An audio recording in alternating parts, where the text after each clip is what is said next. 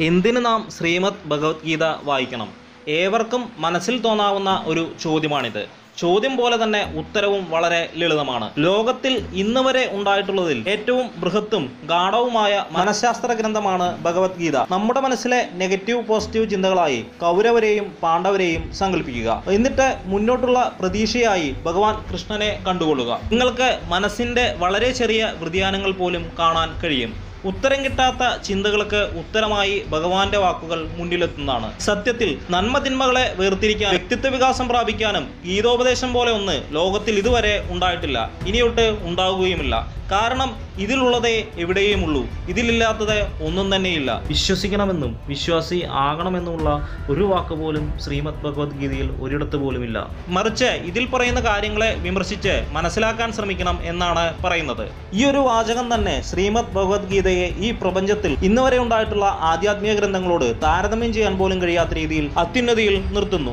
ദൈവത്തിൽ വിശ്വസിക്കണമെന്ന് പറഞ്ഞ് അന്ധവിശ്വാസിയാകുന്നതിന് പകരം സ്വയം ദൈവത്തെ തിരയുവാനും കഴിയുമെങ്കിൽ അറിഞ്ഞ് അനുഭവിക്കാനുമാണ് ശ്രീമദ് ഭഗവത്ഗീത ആവശ്യപ്പെടുന്നത്. അതും സ്വയം താല്പര്യമുണ്ടെങ്കിൽ മാത്രം യാതൊരു നിർബന്ധവും തന്നെയില്ല. ഈ പറയുന്നത് അന്യാധ്യാത്മിക ഗ്രന്ഥങ്ങൾ തെറ്റാണ് എന്നോ അല്ലെങ്കിൽ മോശമാണ് എന്ന് സ്ഥാപിക്കുവാൻ വേണ്ടിയല്ല. മറിച്ച് വിശ്വാസം അറിവില്ലായ്മയിൽ അധിഷ്ഠിതമായതുകൊണ്ട് അറിവില്ലായ്മ മനുഷ്യനെ അന്ധകാരത്തിലേക്കും അന്ധവിശ്വാസത്തിലെ അവസാനം സമ്പൂർണ നാശത്തിലേക്കും നയിക്കുമെന്നത് ഏവർക്കും അറിയാവുന്ന പരമസത്യമാണ് എന്നുള്ളതുകൊണ്ടാണ്. സമ്പൂർണ മനുഷ്യരാശിയെ നന്മയിലേക്ക് നയിക്കുവാനും അവരെ ഒന്നിപ്പിക്കുവാനും അതിലൂടെ ലോകത്തിന്റെ മുഴുവൻ നന്മയ്ക്കും വേണ്ടിയാണ് ശ്രീമദ് ഭഗവത്ഗീത സൃഷ്ടിച്ചിരിക്കുന്നത്. നാം സ്വയം നമ്മെ അറിയുന്നതിനേക്കാൾ ശ്രേഷ്ഠമായി മനുഷ്യനെ ഈ ഭൂമിയിൽ ഒന്നും തന്നെ ചെയ്യുവാനില്ല. അതായത് ആത്മസാക്ഷാത്കാരമാണ് മനുഷ്യജന്മത്തിന്റെ പരമമായ ലക്ഷ്യം. ഇതാണ് ഭഗവത്ഗീത നൽകുന്ന സന്ദേശം. അഞ്ച് ഇന്ദ്രിയങ്ങളാകുന്ന കുതിരകൾ പിടിച്ചു വലിക്കുന്ന ഒരു തേരാണ് നമ്മുടെ മനസ്സ്. അർജുനൻ ബുദ്ധിയും ഭഗവാൻ ശ്രീകൃഷ്ണൻ ആത്മാവിന്റെ പ്രതീകവുമാണ്. നമ്മുടെ ജീവിതത്തിൽ നിത്യവും നേരിടേണ്ടി വരുന്ന പ്രശ്നങ്ങളെയാണ് കുരുക്ഷേത്ര യുദ്ധമായി ചിത്രീകരിച്ചിരിക്കുന്നത്.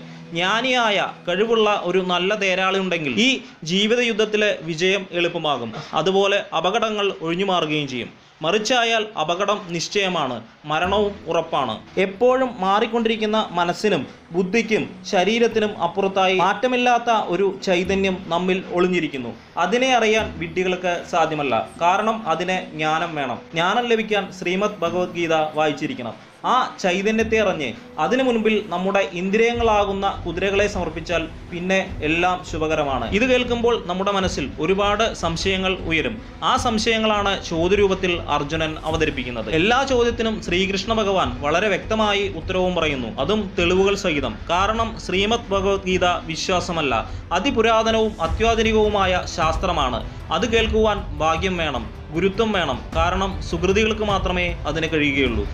മനുഷ്യ മനസ്സിൽ അനുനിമിഷം ഉദിച്ചുകൊണ്ടിരിക്കുന്നതും ഒഴിവാക്കേണ്ടതും മനുഷ്യനെ നാശത്തിലേക്ക് നയിക്കുന്നതുമായ ചിന്തകളെയാണ് കൗരവറായി ചിത്രീകരിച്ചിരിക്കുന്നത്. മനസ്സിൽ വരുന്ന ആധ്യാത്മിക ചിന്തകളാണ് പാണ്ഡവർ. നൂറോളം ചീത്ത ചിന്തകൾ മനസ്സിൽ ഉദിക്കുമ്പോഴാണ് അഞ്ചോളം നല്ല ചിന്തകൾ ഉണരുന്നത്. പക്ഷേ ചതിയും വഞ്ചനയും നിറഞ്ഞ ചീത്ത ചിന്തകളാണ് സാധാരണ മനുഷ്യരെ ഭരിക്കുന്നത്. അതിനാൽ നല്ല ചിന്തകൾക്ക് മനസ്സിൽ സ്ഥാനം ലഭിക്കുകയുമില്ല. അതാണ് പാണ്ഡവർക്ക് സംഭവിക്കുന്നതും. ആ പരമമായ സത്യം പൂർവജന്മ സുഹൃതം കൊണ്ടും ഈശ്വരാനുഗ്രഹം കൊണ്ടും ഒരു വ്യക്തി മനസ്സിലാക്കുമ്പോൾ അവന്റെ മനസ്സിൽ മഹാഭാരത യുദ്ധത്തിന്റെ ശങ്കൊലി മുഴങ്ങുന്നു. ഭഗവാൻ അവന് വിശ്വരൂപ ദർശനം നൽകി സ്വന്തം സത്തയെ മനസ്സിലാക്കി കൊടുക്കുന്നു. കൂടാതെ വേണ്ടാത്ത ചിന്തകളെ വധിക്കേണ്ട രീതിയെ ഉപദേശിച്ച് നമ്മുടെ തേരാളിയായി നമ്മെ വിജയത്തിലേക്ക് നയിക്കുന്നു. അങ്ങനെ നോക്കുമ്പോൾ കൗരവരും പാണ്ഡവരും ശ്രീകൃഷ്ണനും കുരുക്ഷേത്രവും ഭീഷ്മരും ദ്രോണരും എന്ന് വേണ്ട യുദ്ധത്തിൽ പങ്കെടുക്കുന്ന പതിനെട്ട് അക്ഷോഹിണി പടയും നാം തന്നെ. എല്ലാം നടക്കുന്നത് നമ്മിൽ തന്നെ. എത്ര ആശ്ചര്യമാണിത്. ഇതിനേക്കാൾ വലിയ ശാസ്ത്രം എവിടെയാണുള്ളത്? കോടാനുകോടി ജന്മങ്ങൾ അലഞ്ഞാലും എവിടെയും കിട്ടാൻ പോകുന്നില്ല.